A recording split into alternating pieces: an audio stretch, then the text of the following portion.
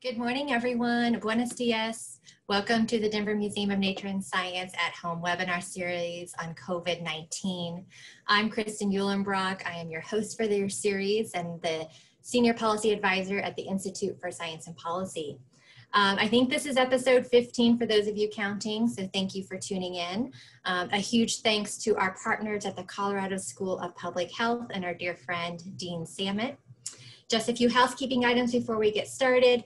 Um, as a reminder, we have two audiences joining us today. We have those of you here on Zoom. Um, good morning. Go ahead and open that chat feature. That's going to be where you ask your questions of our panelists.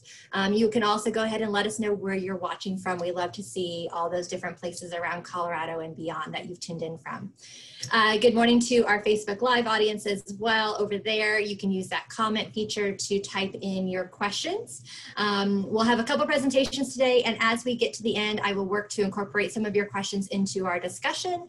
Um, so we'd love to see them. I do not get to all of your questions, um, but do please feel free to type those in as we go throughout.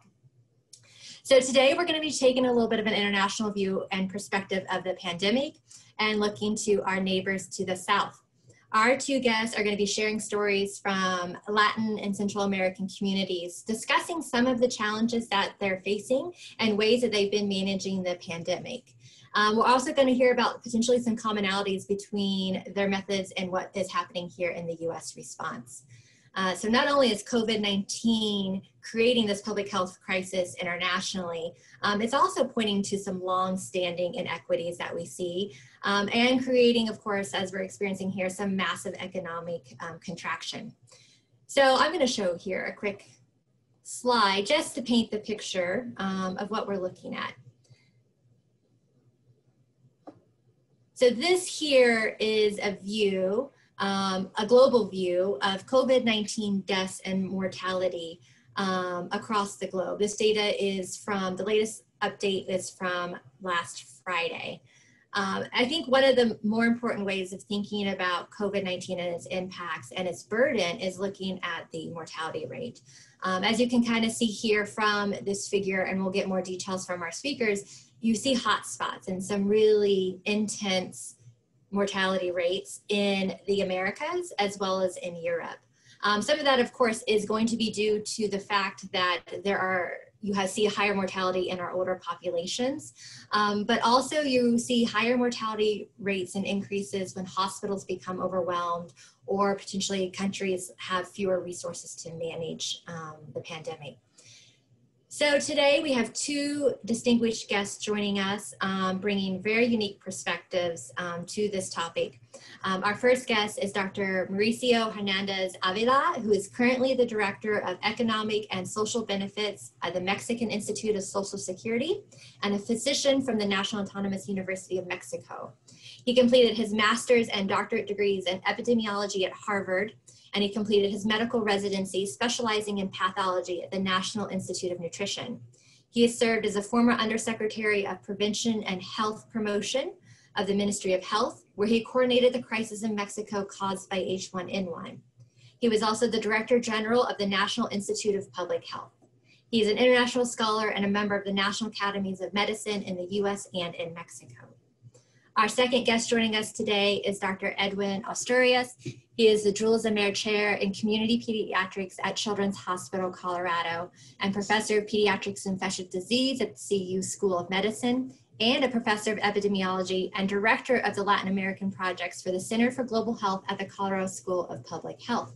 That is one of the longer titles I think I've had to read so far. he is a native to Guatemala where he received his medical training um, at the University of San Carlos and was boarded in pediatrics and infectious diseases at the University of Colorado and Johns Hopkins University School of Medicine. His career is focused on establishing the epidemiology of vaccines for preventable diseases in low and middle income countries of Central America, as well as focusing on vaccine safety and immunization for children. He has served as a member and vice chair of the Global Advisory Committee of Vaccine Safety from WHO. He is now the coordinator for the Advanced Vaccinology course of the University of Geneva and Foundation Mérieux in France, and president of the board of Colorado Children's Immunization Coalition. Uh, Dr. Asturias is currently in Guatemala advising and assisting in managing the COVID-19 crisis there for the president. Um, so good morning, welcome to you both. Thank you for joining us today. Um, Dr. Hernandez, would you like to get us started? Yes, uh, thank you, thank you very much. And uh, I want to thank the Institute of Science and Policy for the invitation and uh, to my good friend Jonathan Samet for uh, giving us this uh, opportunity to share what we are doing in and how we're seeing things in, in Mexico. So I will show you some slides really, really fast to put you in, in, in context. Uh, the, well, you know that uh, January 7, uh, China confirmed the first case. Uh, we are uh, more or less 20, uh, one month away from uh, the first case of uh, COVID-19 in the US. Our first community acquired case was on February 28. we did have a number of imported cases, some of them from, from Colorado, uh, and uh, we started our lockdown measures uh, beginning in March 23. And uh, from there on, we have uh, been limited activities, uh, uh those to uh, an essential nature. And on May 30, we start uh, opening again to normal life. And from June 1st, we have been on the reactivation, the economic reactivation.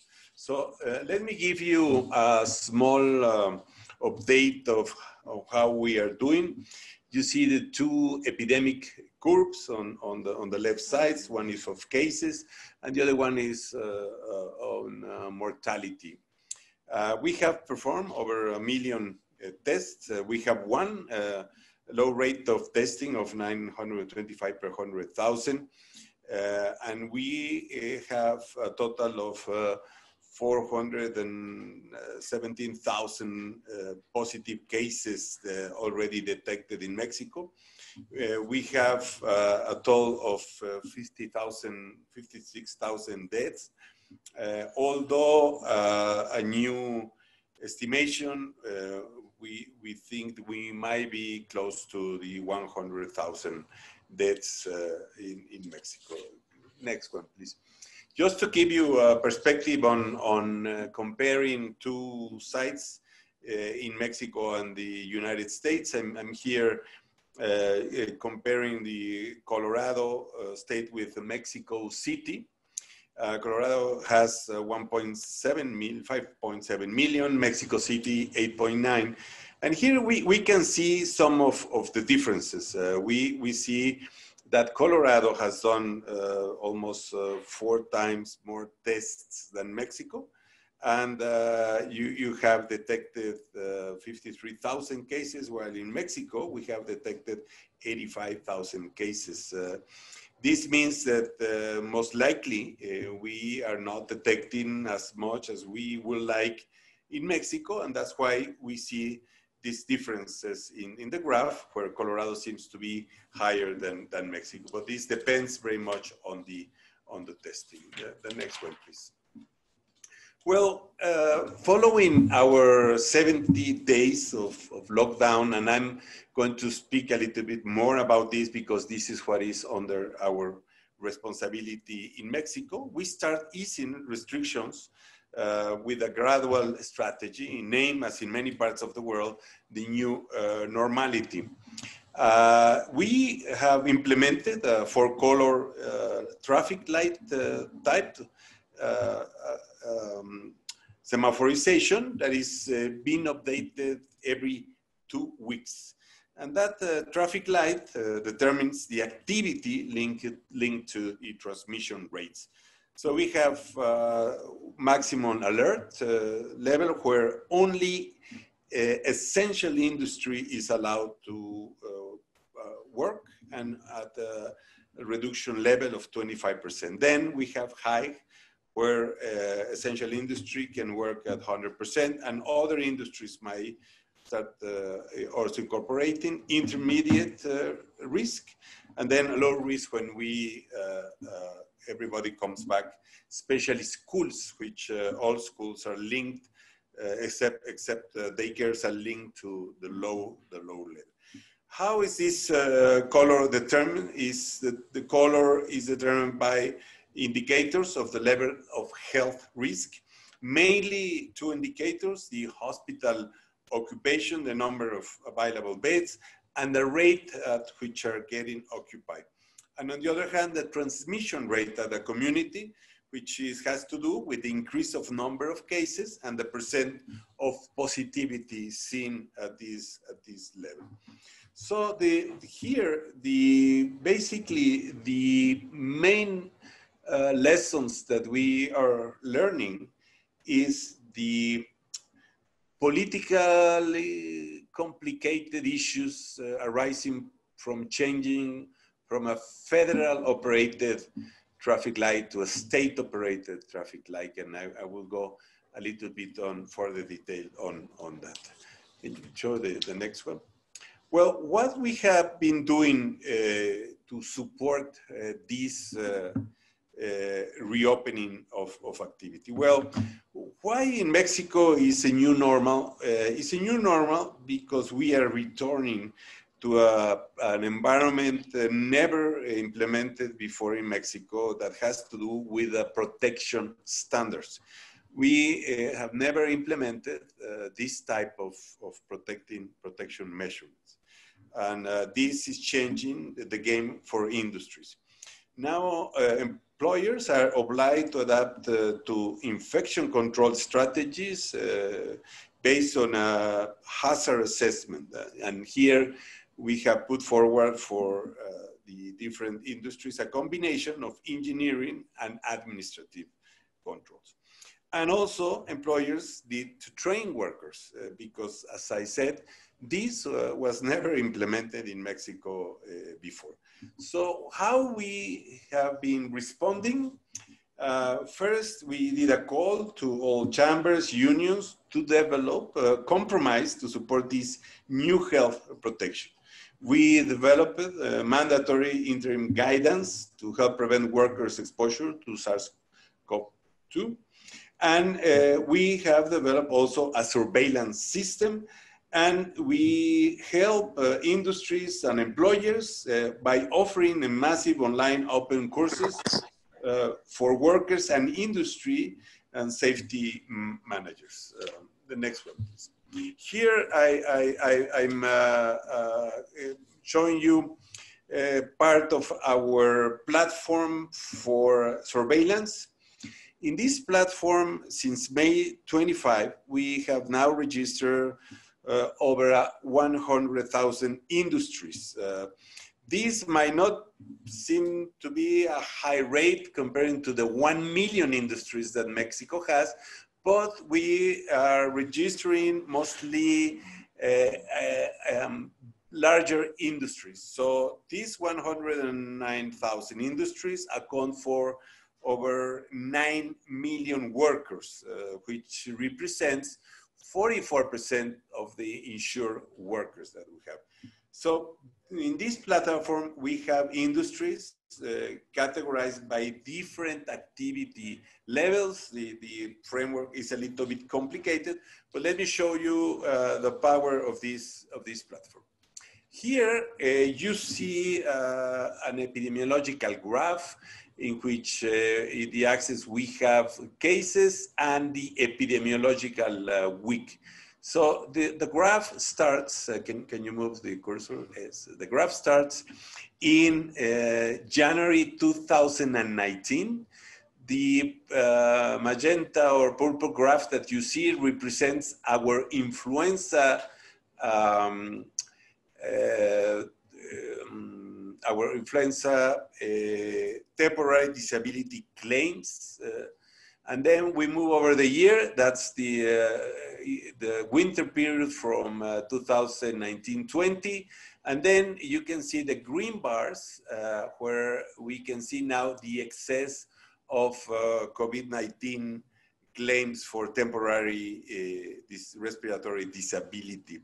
So, so far we have received uh, over uh, 255,000 temporary disability claims for uh, clinical cases that resemble COVID. Now, I just want to point out to the last weeks uh, that after an increase in uh, claims that uh, are linked to the reactivation, we are finally seeing a lowering of the level of claims. Now, in the other part of the graph, uh, here you can see uh, the industries uh, classified to help us find industries of the same size but uh, who have a different behavior in terms of temporary disability claims that they are submitting to our system.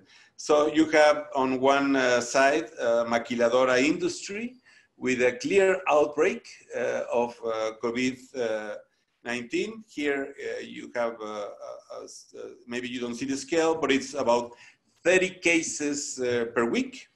And then you, we are comparing it with another industry, same uh, area, same uh, number of workers, and you can see the differences. Now, what do we do with this uh, uh information? Well, we share this information with the Ministry of Work, and they visit uh, these industries and, and help them to comply. If they don't comply, then they, they are, are closed uh, in, a, in, a, third visit. So we are uh, doing uh, a surveillance that is, is very direct and very efficient. Now, what we did to support uh, industry and businesses to uh, train their workers is we offer this uh, uh, MOOC platform, which is open 24 hours a day, and it can take over 50,000 simultaneous users. So far, for the whole uh, COVID activity, we have trained close to 9 million users. We know that the, it's, it's been efficient because uh, we asked them to do a test, a pre-course test and a post-course test, and we see that more than 80% of participants uh, take uh, that both tests, so they mean that they comply with the course, and we see that there is an increment in the scores uh, per se. Now, for the area of, of work return, uh, we open also a section here uh, to train specifically workers and plant managers in order to compile with our guidelines. And here we have already trained uh, 2.6 million workers, and it's increasing every day. And we have trained already 37,000 um, monitors which are placed at uh, industries. So in this regard, uh, we have uh, trained almost 2.8 million in this, in this strategy all, all over. The next one, please. Uh, just uh, to let you know, because the, the, travel restrictions are going to be eased uh, also between our countries.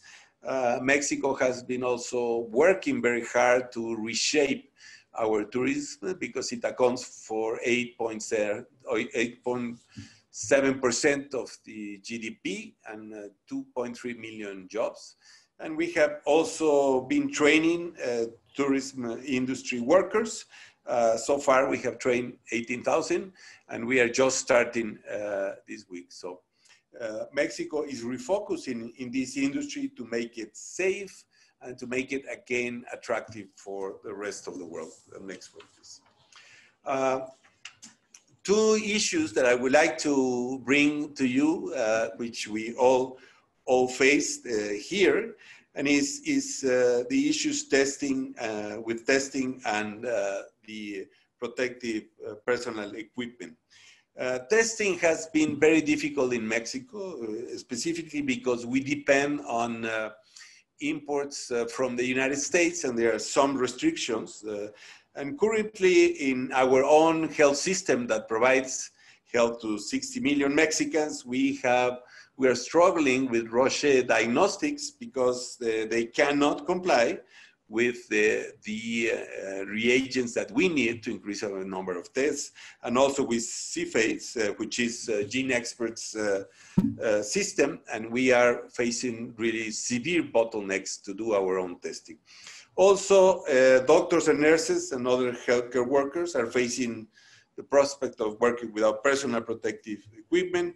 And this is because we have limited national stockpiles and uh, also states in Mexico uh, have not uh, stockpiled uh, this type of, of supplies. We are worried about the vaccine uh, during the H1N1 epidemic. Just to give you a comparison, the US and Canada had already vaccinated most of their population when Mexico received its uh, first shipping of, uh, of vaccines. So here uh, we need to do an effective management uh, on, on non-pharmaceutical and pharmaceutical interventions so that all countries will, will have access uh, to, these, to these benefits we, we must consider uh, also how patenting uh, and pricing can influence uh, the development capacity and access to these pharmaceutical uh, interventions. Uh, the next one. Well, just to close, uh, I would like to tell you that we have the idea that countries were forced to launch to, to, the response as it unfolded uh, despite the warning from the scientific community that uh, globally we were not prepared to respond as uh, for an epidemic of this magnitude. Here I'm showing you a report from the Institute of Medicine, now the Academy of Medicine, uh, that came out in, in 2016, uh, alerting that we were really not ready, and and we reached 2020 in the same with the same level of uh, we, we are, I think, reassured when we hear authorities that are, are following uh, the science. Uh, however, scientific knowledge uh, seldom leads to a specific course of political action. And, and we've seen here uh, many uh, issues between, I would say, um, disagreements between economy and, and public health that need to be uh, handled in a more effective uh, uh way. The next one, please. So I think that uh, COVID-19 in Mexico has exposed the lack of preparedness that we had. We, I think, had very limited stockpiling. The Mexican health system has weaknesses, uh, very important, which are segmentation and uh, fragmentation, that in this case uh, of this pandemic, uh, it, it, really affected the efficient use of, of, of resources. And then as we uh, unfold this new normality, we, we think that this new normality might not be protecting all our members of, of, of our society. Mexico has a, a high percentage of workers, almost 50% of workers, that uh, work on a minimum income. And this minimum income is really obtaining on a day-to-day basis. So this, uh, I think, is a limit uh, for this uh, new normality that we need to, to think about it because, you know, basically complying with the new normality uh, or with the non-pharmaceutical uh, uh, intervention, well, uh, it's only if you have the means to, to comply.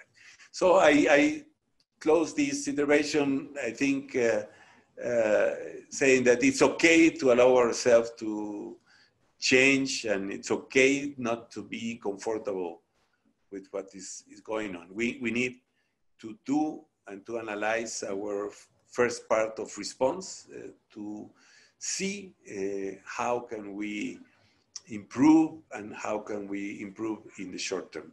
So thank you very much for your attention and I remain attentive for your questions. Thank you very much. Thank you, Dr. Hernandez, very much. Um, let's turn this over uh, to Dr. Asturias to give another perspective and then we'll head into Q&A. Good morning, how are you, Edwin?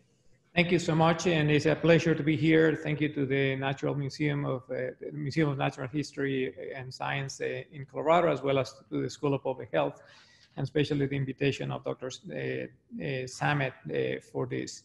Um, and I think uh, Dr. Hernandez has already given you a great perspective from Mexico, and it's, it's a good representation of what's happening in many countries.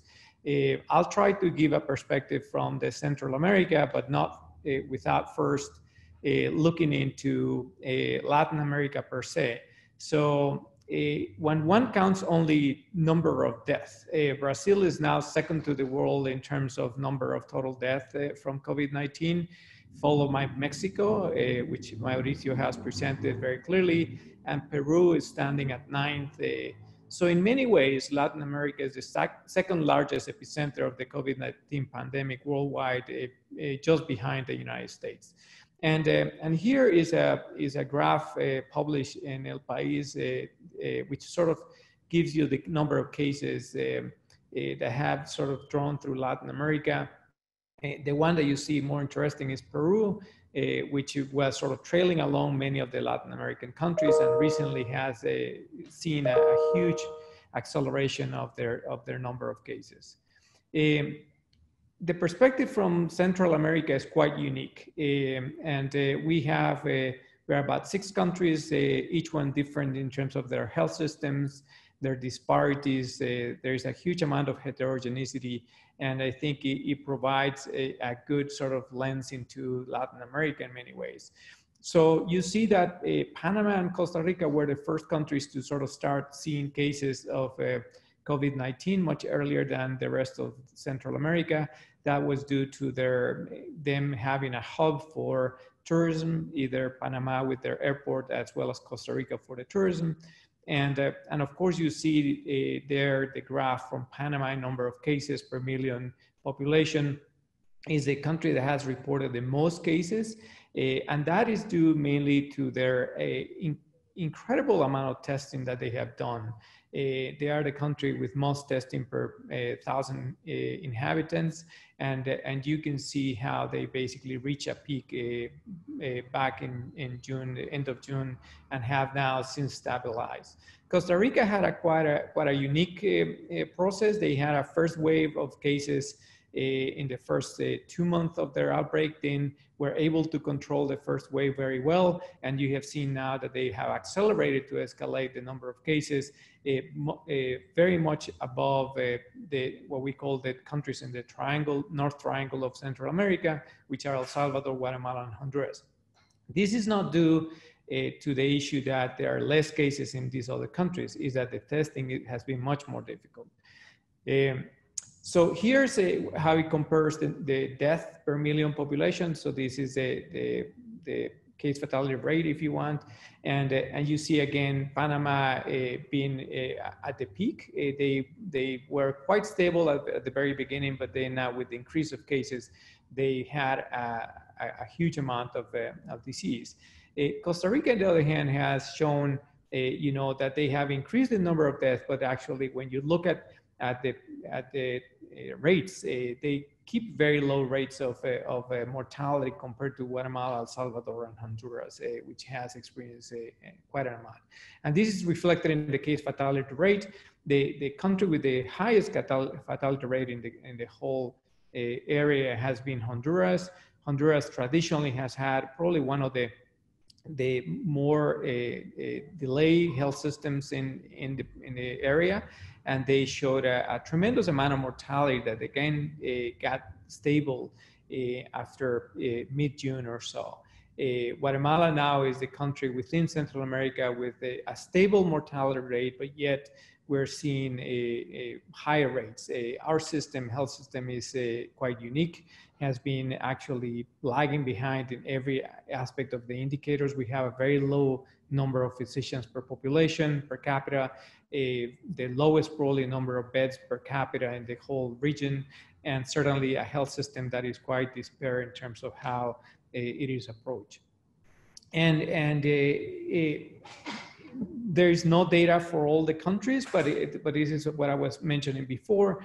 Panama has been the country with the highest number of testing, and they really were able to increase their capacity along with Costa Rica. El Salvador uh, invested very clearly at, at, the, at the beginning with it, but Guatemala was one of the countries that really couldn't get their act together in the first two or three months to sort of get testing going. And this is reflected in this graph. Uh, this is uh, uh, how the testing was at the very beginning. We had our first case on the 13th of March, and you can see the very low numbers of testing that we had for many, many, many months. Uh, and until basically uh, when I came here, we put together a strategy to increase our capacity for testing. And since about mid-June, we have been steadily increasing. We're about now a 0.3 to 0.4 tests per thousand population per day, which is a, what, what I call the minimum that we are allowing ourselves to do. Some areas of the country, like the central metropolitan, metropolitan region, is doing at what 0.8 uh, per thousand per day, but other areas of Guatemala still need a lot of uh, work. And, and as uh, Mauricio reflected, we got to a point of about 40 to 45 percent positive testing, and recently we have seen a, a, decrease in the in the percentage of testing uh, positive in the country. So lessons learned from Latin America, from my standpoint, I think if you look at most countries in Latin America, those countries that took early consistent actions based on science have done much better. And I will say that in those, one can sort of look at Uruguay, Paraguay, Costa Rica, uh, and some other countries in the middle that really did a, a good job. Uh, certainly countries that have a robust universal healthcare system, especially based on primary healthcare, have had lower mortality and really have been able to tackle this epidemic very well. The upscaling of testing, as Mauricio reflected, it has been critical, but also very difficult for Latin America. Many countries didn't have the decentralization of their of their laboratory capability. Uh, many hospitals didn't have the the ability to sort of go and test for PCR, and they had to they, had to sort of uh, rethink their whole systems. Um, what I call the boxing in strategy, uh, which is a, a, way of sort of a, a controlling the virus, which includes testing, isolation, tracing, and quarantine, has been a very simple and clear strategy for the population to understand. Uh, in many countries in Latin America, uh, trying to convey that strategy to the population hasn't been easy. And I think the boxing strategy has worked well.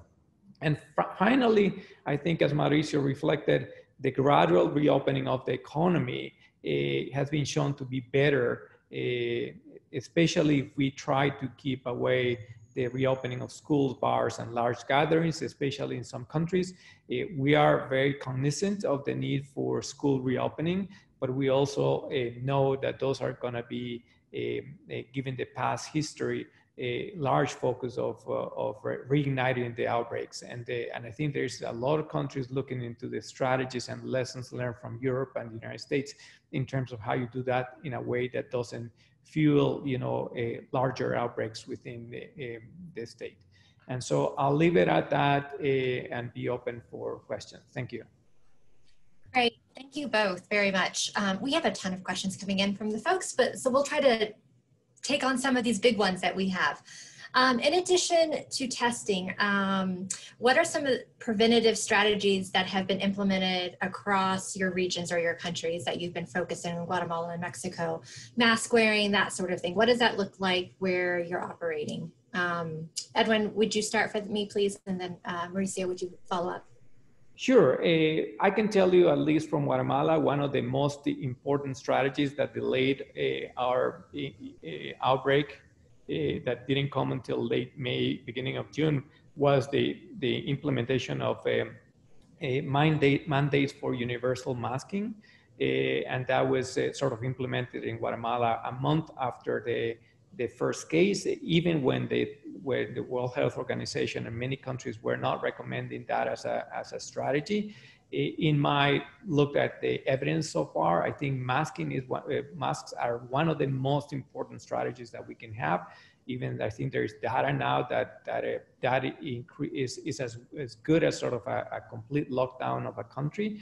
And in many of these countries where the economy really cannot resist a lockdown for that long, the, the mass, universal uh, use of masks has been crucial. We have increased it. We have been sort of following the informal markets here, which are a good sort of a way of looking at the at the lower income population. And uh, we went from having a back in May, 90% of the population in those markets uh, wearing a mask but only 60% wearing it correctly to most recently about a week or week and a half ago, 98% of the people in those markets wearing a mask and 90% of them using it correctly. So I think that really has helped uh, tremendously in that process.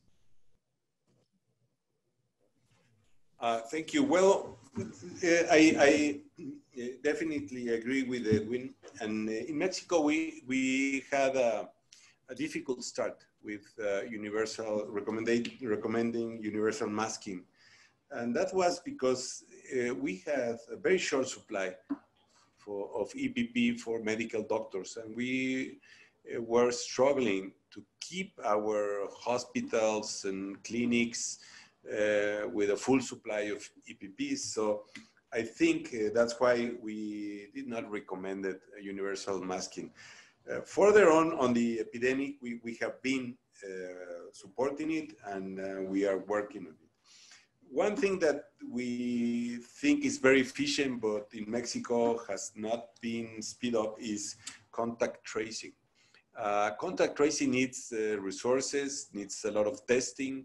And as I mentioned, our testing system experienced really severe bottlenecks uh, with the restrictions and uh, the very complicated markets that we, we were facing. So those two issues were not really, I think, well uh, put in place in Mexico. However, uh, from the National Institute of Social Security, we implemented an online uh, um, uh, way to get your uh, uh, re registry for your temporary capacity for respiratory disease. And we were very successful in uh, helping people to stay at home and to quarantine without needing to go to the doctor, without needing to go to the bank to collect your uh, uh, your payment. So, so that I think saves us uh, close to one point and a half million trips uh, in in the cities. Thank you. Um, we have an interesting question here, it kind of builds on a few folks' question. Um, I'm going to bring up the end part of it too, which um, someone pointed out and noted that, for example, in Mexico, um, there's a high number of uh, people from the country who have diabetes. So we have pre-existing health conditions, um, potentially, you know, which make people more susceptible, of course, you know, to catching COVID in that higher risk category. Um, so the questions to both of you, um, thinking about those factors among everything else you said, if there was one strategy that you could change right now that you are not doing based on lessons from other countries or lessons yourself that you've learned since the start of this, what would that change in that strategy be? Um, I'm looking to see who wants to go first on that. Mauricio, would you like to take that one first and then Edwin? This, this is a very relevant question because it, it affects you in a, in a double-sided when, when uh, you are a worker that has diabetes and then you are uh, linked to a vulnerable policy, then you might stay at home. And we have recommended this uh, to happen. So many workers with uh, chronic disease are staying at home. Now, this also has a cost because they have to stay with full salary and it's the employer who pays this, this salary. So we have been working to, first of all, to uh, ask these workers to come to our health facilities because we are the health providers of them and to get control of the disease. It's, it's been shown that if you are on control of your disease, if your glucose levels are on a, on a good level, then you are not at higher risk of, of uh, of having a severe uh, manifestation of COVID-19. So I think we, we had to struggle with uh, um, how to reach these these people to help them to comply with uh, and to control the disease. So the strategy that I will bring in will be telemedicine. We, we, we felt very short of access to for these uh, uh, people with living with these conditions. So I will implement telemedicine really heavily.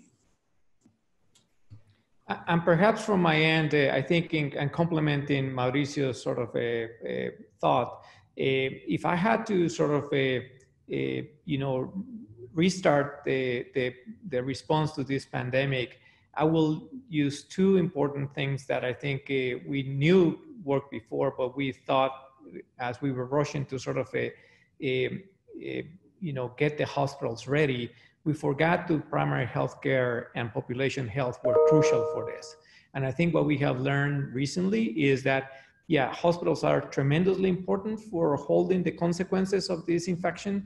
But if we were able to sort of uh, tackle people or sort of go to people early on, uh, either vulnerable populations or so, and try to get them, uh, you know, the right treatments and the right care early on, closer to their home, it was much better than actually waiting for them to show up at the hospitals and sort of being complicated. So I think once again, I think COVID-19 is telling us that, that primary healthcare and population health are crucial for any response.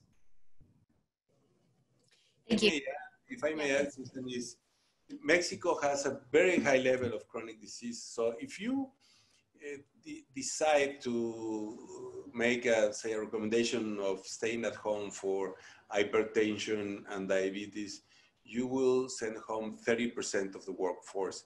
If you include obesity, uh, then you uh, increase uh, that by 40%. So it, it also has, uh, I mean, in terms of health protection and economic dilemmas that we, we face here. Let's maybe build on that uh, last point there, Mauricio. Um, so a lot of folks, you know, point out in our chat and, in many conversations we have that it's there's trade-offs but there's also challenges as you navigate public health and safety with an, an, economy and closing an economy and potentially reopening an economy. So we saw a lot from Mauricio on some of that. Um, Edwin, could you talk a little bit about what are some of those fine balancing acts that are being talked about right now between public health, safety, and, and keeping the economy going? Yeah, and I think in Latin America, those uh, balances are different depending on the country. There are countries, again, which had a very robust uh, health systems and also at the same time had a more organized economy in a way of, uh, you know, being able to lock down completely. I think Mexico and, and most of the Central American countries, as, as well as some of the South American countries, uh, are similar to Guatemala in the sense that, uh, for example, our reliance on agriculture is very high and therefore agricultural workers were able to continue to work because distancing was much easier there and the ability for them not to sort of uh, gather was important. However, uh, the cities and the urban areas really got hit very hard by this. And, and there we had to make a decision on uh, which were essential industries and commerce that needed to continue versus those that uh, we needed to wait for uh, in order to reactivate. Uh, I think uh, in, in Guatemala, for example, we never had a, except for a few days, a couple times, full lockdowns and our learning through those full lockdowns was that that the, the ability for the population to resist those lockdowns was very low. And so we needed to come up with a, a partial strategy of uh, sort of decreasing those uh, uh, the activity, the mobility without really hurting people. Uh, and I think so far has proven that the balance is, is there. We haven't been hit by the second wave, so still more to come, but I, I think for the most part, it has worked well. Mauricio, anything to add to that before I've got one final question for both of you, but let me give you a chance to respond or add. Well, you know, we, we took decisions in, in, in Mexico uh, to reopen certain industries, which you, you, can clearly say they are not essential for, for maintaining the living uh, and, and the work of government. We, we open, for example, all the automotive industry uh, that is linked uh, with the United States production changes. So, so we open the maquiladoras that are feeding parts or vehicles to the US on the aerospatial, large trucks and automobile. And, and I think this is, this is good because then we, we work as a, as a, a todo, no? as a complete whole uh, in the North America agreement. And, and we, that's why we work very closely with this, with this industry. It, that's when you see economy is being protected, you know, because uh, not opening in Mexico has huge repercussions for for the industry in the in the in the U.S. Having said that, uh, we will have loved that the uh, you know companies that are doing tests like Roche and Cepheid will provide our market with certain kind of priority, but that's not happening. if there's a journalist there and wants to do a story, that would be great. Sorry for the commercial. that is actually where I was going with my last question, which is about coordination, right? We are a very mobile society, hence, you know what I mean, how this uh, pandemic has actually spread. But there's close coordination, of course, between the US with Mexico and our other Latin American, Central American, and other neighbors. Um, that's that's through businesses, it's through you know companies who have dual factories in places, it's through tourism, it's through people traveling. What sort of coordination are you seeing? Are, are, we seeing good coordination, poor coordination? Where could we be doing better? And what should our audience be knowing about that coordination between our countries? I mean, I think a lot of people are concerned about traveling or have questions about traveling. Well, we, we in, in, in, say, in the part of North America, we have some mechanism, uh, NAPAPI, which is North, North American you know, collaboration for pandemic and influenza, has been working pretty well. We, we have had meetings, very helpful uh, meetings. For example, uh, when we've uh, had our crisis for uh, personal protective equipment, we saw alternatives on how to recycle safely these EPPs because we were all, all facing similar problems in, in at least US and, and Mexico. So we've been working, I think, uh, pretty close together with the coordinations and uh, meetings, I will tell you, every 15 days or so on sharing lessons and also information. This issue of the samples was uh, addressed in, in, in, uh, in these uh, meetings and we had a little response, but, uh, but we, we have addressed all this there. And I, I'm really uh, think that we had a very good coordination. Now, in terms of traveling, I hope that we are going to develop a safe traveling industry because as many Mexicans visit the US, many US citizens also visit uh, Mexico. So we need to work out the security protocols to make this activity safe again and uh, uh, to empower our economies.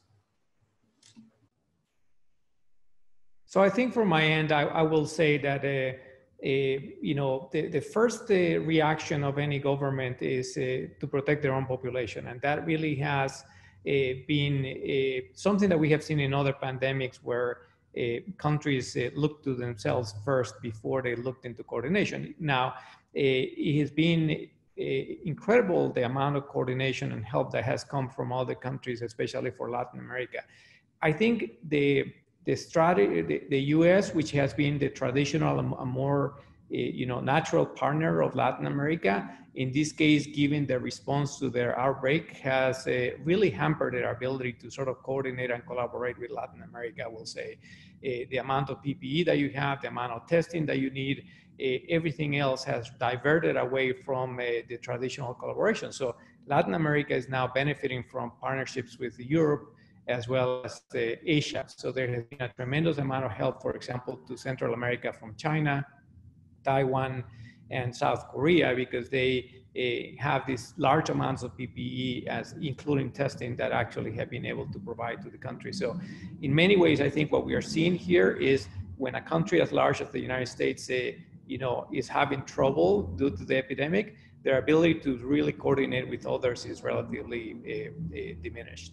And, um, and I will say from the, the industry of travel, it certainly Mexico as well as uh, Guatemala, Costa Rica, and other places, which are hubs for tourism, uh, are going to need to look into that industry as a as a crucial one for restarting economy because it's going to be quite important for uh, how we do that in a safe way that the traveler is feeling like they can come to the country and not necessarily get infected, and also that they can come to this country and not bring in more importations of cases.